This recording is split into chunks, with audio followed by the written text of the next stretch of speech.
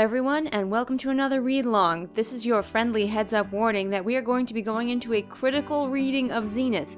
That means it will not only contain every single spoiler, but if Zenith is one of your favorite books and you cannot stand to see it ripped apart into little tiny pieces, then this isn't the review for you. See you next time. Thanks for playing. Hey, everybody. Doesn't Kinshu look cute?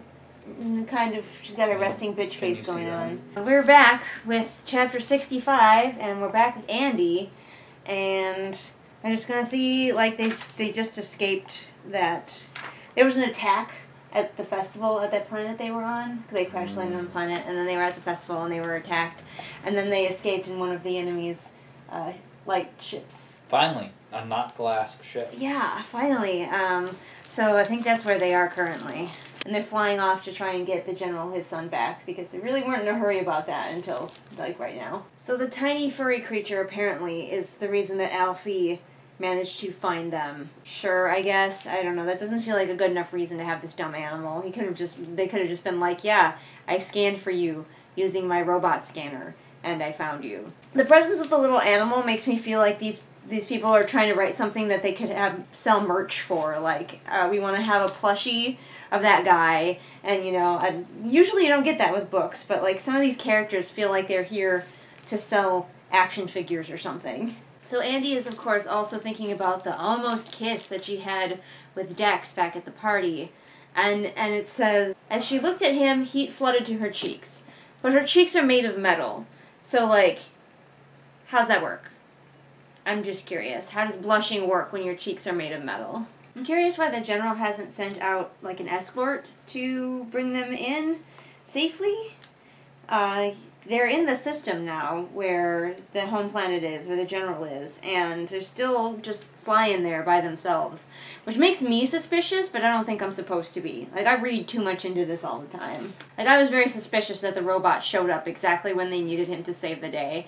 And, like, the explanation that the little furry animal led him there doesn't, isn't enough for me. He was, it was very convenient. Ah, finally the escort is here. Thank goodness. Well, the one did come eventually.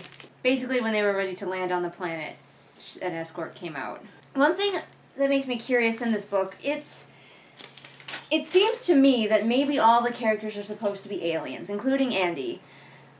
Dex uh, probably is because his blood is green. I'm confused by that, but like it's it also seems like they're supposed to be humans. Like I can't figure out what they are, and if they are humans, then they came from Earth originally, and like what happened to Earth? What happened to humanity? How did all of these alien species meet? Like what is the history of this world? This I place. concur. Those things would be very interesting to me and should not be saved for the later to be released prequel. I don't know if there But will be a that- prequel, but there should be. I mean, that's like, I mean, people release the core books and then do the prequel later.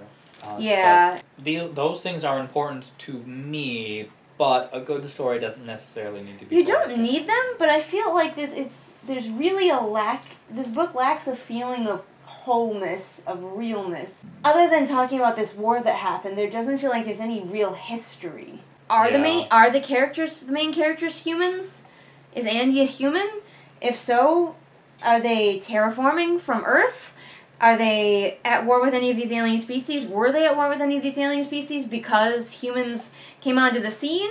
Like even even I, who am not a world builder in the game, have a brief moment where we talk a little bit about like humans and how they're colonizing and like their sectors of space and who they're allied with and stuff like that. It is not mm-hmm. even that long, but that that little bit of history lets you know what's up with this place and gives you a feel for the the I don't know mood tone overall something.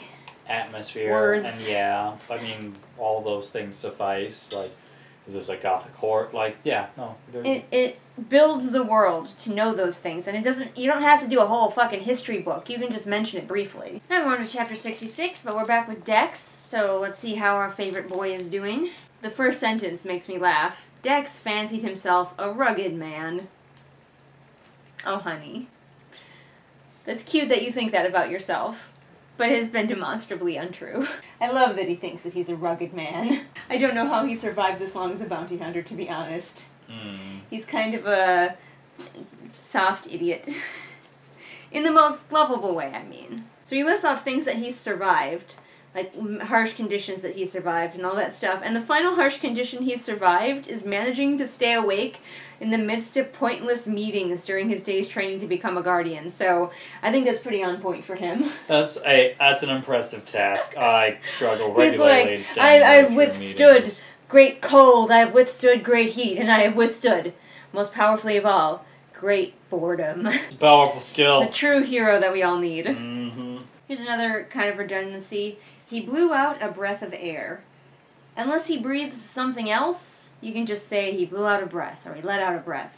Air is is very much implied. So the rest of this chapter is just Dex feeling mopey because he wants to have a relationship with Andy again, but he feels that like, oh, I should the best thing that I can do after all this is over is leave her alone and I'll just leave. And then the girls come onto the bridge and they form like a circle around Andy and he realizes like, oh, they just love her so much and they're protecting her and I hate it. And uh, we're just gonna read chapter 67 because it's only like two fucking pages long and we're back with Andy again. I like the beginning of that Dex chapter. That was very on point for him, but the second half was just too much angst and also see how how much Andy and her crew love each other, which we already know. We don't need to keep seeing it. They had a very very brief conflict and it was over in like half a page. So, yeah. And I struggle with conflict too. That's something that I do struggle with is like I want my characters to be good friends and happy with each other too. But like then you got to have conflict from somewhere else. Like you can't just keep talking about how happy and awesome they are together. Something has to happen. People have written books where everyone's just happy together, but And I mean, like you, you can have some interpersonal conflict and still have them like be happy together, or at least civil to each other. like the two of us are we are a happy, successful relationship. We even do videos about it. But like we came to near blows the other day talking military tactics. He's being a little bit dramatic. We did not come to near blows. okay, you There are, were you, blows because we were playing correct. Amtgard, but that that we was came different. to actual blows, Yes, there both were before blows. and after. You're playing Amtgard, foam swords. Don't panic. Um, but like I'm just thinking about like in the game again, comparing this book to my book, which isn't very fair because you can't really read my book right now and compare them. Eventually, you will the be anticipation bill. Eventually, you'll be able to. Uh, I hate and her for this too. and then you'll be able to call me an ass um, properly. You can call me that now. But in it, uh, the their group eventually that gets together is fairly tight knit. But even within it, Song, who's the main character, asks Five, who is very close with her, to do something that is like hurts him to do. And then at, for several chapters afterward, he's kind of silently mad at her. Like he's not mad in a way that would endanger the group, but he's still like staying away from her and like just doing small things that like are make her realize that he's upset with her and eventually they talk it out or whatever but like you can have stuff like that your characters can be still be civil with each other but be mad at each other when friends are mad at each other it's it's you know it's not the end of the world and they brought dex in here and the crew immediately like took to him and andy pretends that she's upset that that's a thing but she's never really demonstrably upset that that's a thing so we definitely need a lot more interpersonal conflict if I feel like these characters are going to be strong and interesting. I think these authors are trying to give us this beautiful these beautiful moments of togetherness that have to be earned by a book and can't just be they're together, they've always been together, they're always strong together. Unless the book is all about the external conflict. Yeah, which is not really because it's all about these people's internal conflict. Like I said, if this book ever focused on just the external plot, it would be a novella. Chapter 67 Andy. Andy's also being very uh, angsty because she's going home to the planet where she killed her friend and Val and sister, and it's like, oh, how many more times are we to get that reminder? I think one of the things I don't like about Andy is she comes off as a very selfish main character, and I don't think the authors meant her to. Andy's pain is always the most important, and her crew is always rallying around her to make sure that she's fine. And she even at one point had to like stop and remember that other people had feelings and hardships besides her. And I just really don't like that in a main character, and I don't think the authors were intending that. I think they wanted to just have a badass character who other people loved and followed, but instead they made a selfish character who everybody just adores. And when she does think about the girls, it's like how their re- their relation is to her, like how much she loves their little family, and then like how they always are there for her. And it's like, Andy, stop thinking about your damn self for five minutes. It's fine to have a selfish hero, but like they have to like grow and change. Preferably by the end they won't be this way, but that's not Andy's arc. I don't think she actually really has an arc. Alright, so this chapter is very, very short. As I said, um, Valen's mother comes comes rushing out and gives him a hug, and then Andy feels awkward for standing there because she's still being very angsty about the fact that she's a murderer. A murder hobo, if you will. Indeed. Amongst the galaxy's best murder hobos. We're getting closer. I feel like we're actually making progress now. We're getting closer to the end. Mm-hmm. But man, The this has been a slog. Oh my goodness. Dex gets the last chapter. That makes me happy. We'll back to chapter 68 with Andy. The general didn't even come out to greet them. Clearly, he, he's not all that concerned about his kid. Because he didn't even, they just have to go to his office apparently. The general's wife came out to greet her son. But the general's like, nah. The general knows it's a fake. Yeah. It's a fake or that he's been brainwashed or something. Mm-hmm. So there's that whole thing with Nora's mother and the general. So like I feel like he's somehow complicit in all of this. And it's gonna turn out to be some sort of big twist and that's why it needed to be Andy that went and all of this Mhm. shit.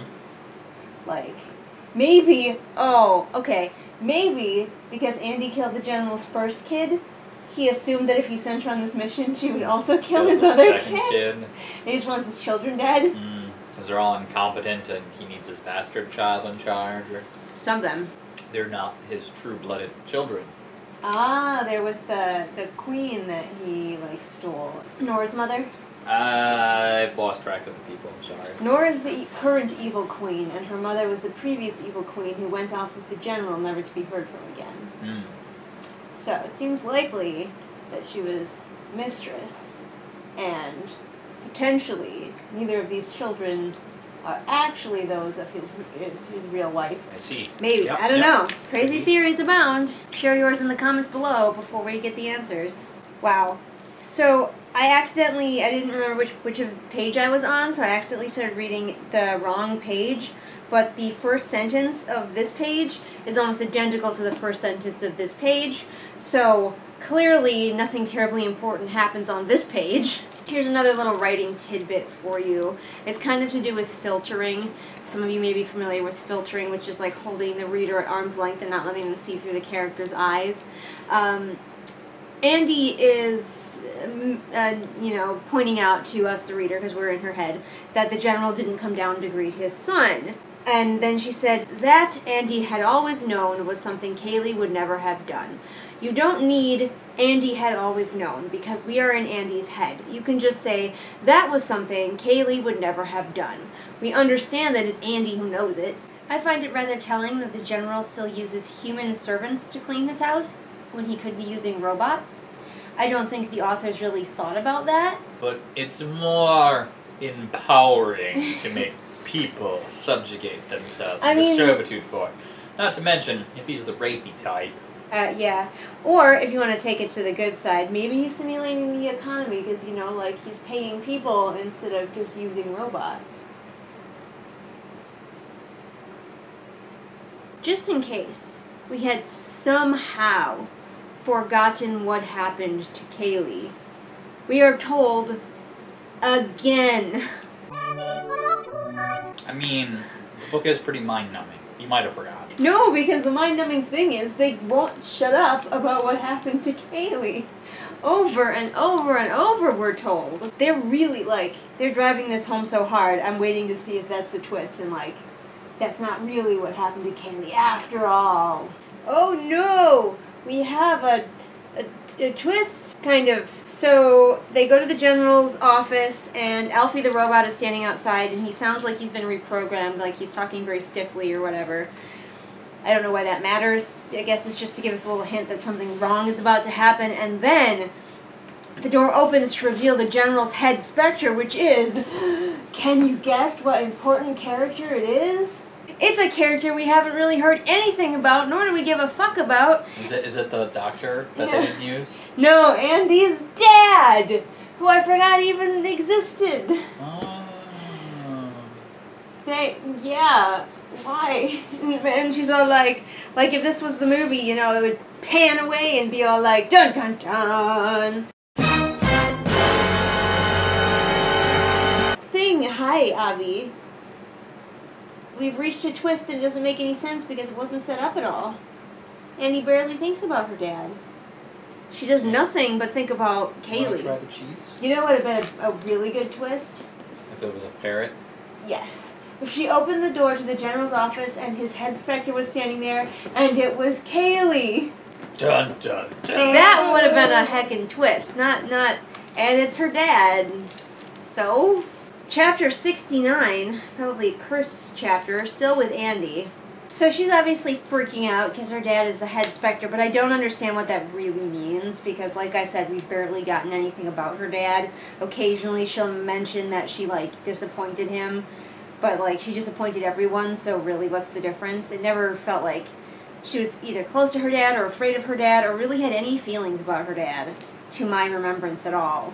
But now she's like, she goes through a list of things that she's survived, which includes uh, heartbreak when Dex broke up with her, which is pretty hilarious. Seeing her dad there might just be the thing that killed her, and I'm like, you know, if this was foreshadowed at all, that would have been great. You can bet your bippy though that these authors are about to go. I bet you this entire chapter is mostly just her remembering things about her dad, so that we're all caught up. Could have replaced one of those times when she was thinking about Kaylee. Keep wondering why they would be thinking about her dog. I Whenever know. you say stuff like I'm that. sorry. Our dog's name is Kaylee, but she's named after the engineer in um, Firefly. Firefly, and not the terrible character in this book. Yes, sir, Captain Tight Pants. Okay, so it seems she was close with her father, and thus she disappointed him greatly when she fucked up and got Kaylee killed. Also, there's a ferret inside the couch. Dex is mad at the general because the general won't say why they were attacked on that planet where they crashed. But, like, it's pretty obvious why they were attacked. They had the general's son, and the bad guys wanted him back. Like, okay. But then we, uh, Andy here says Dex did a very undex like thing and stepped down from a fight she knew he wished to continue. And I'm like, really? That's that's an undex like thing. He he never struck me as guy who gets into a lot of fights. He he struck me as guy who bumblefucks into a lot of fights. Guy who gets accidentally punched in the face often, but like not not fighty guy. Definitely bumblefuck guy. So I don't know where she where she's getting this info. Whenever Abby walks by all businesslike, I'm like, uh oh, what's she doing? Andy is having a full blown existential crisis where she just wants her daddy to hug her. And like, what is this chapter? Sorry I said daddy if that bothers any of you guys. Daddy. Behave yourself. Shan't. Oh, I know when Valen, Vengeance Will Be Mine, Valen is going to be have his mind control activated.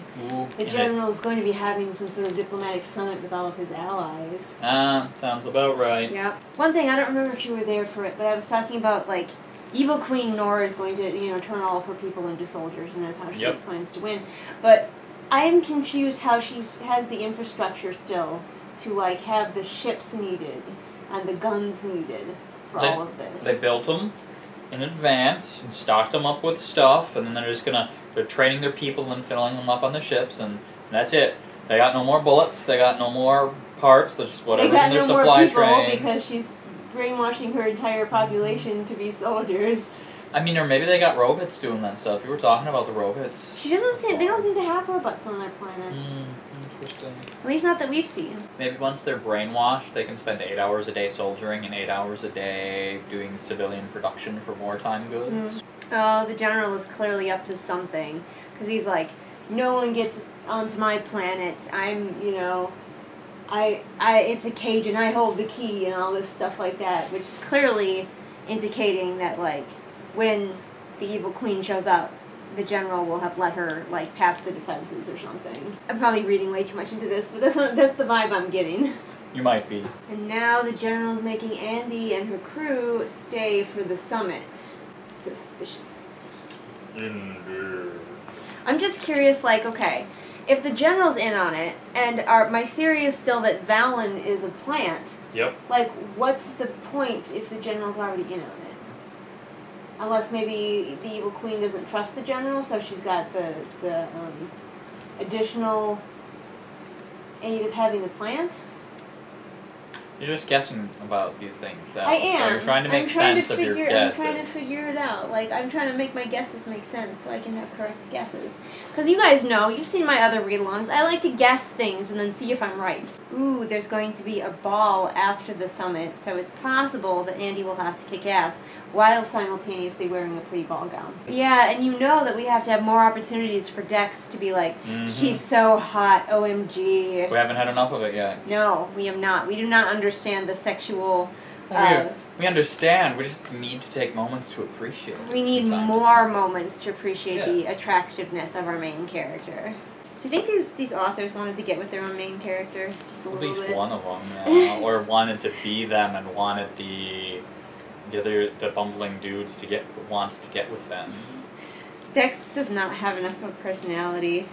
And this, the chapter just ends with like three paragraphs about Andy going round and round about how much she wants to punch the general and how much she thinks Dex wants to punch the general. And Everybody wants to Everybody punch the wants general. to punch the general. To be fair, he's probably fairly punchable. But that was that was those two chapters. Yay, I guess. Now Adam has things to do, and I could have things to do. So we will see you again for whatever chapters we read next time, whenever that happens.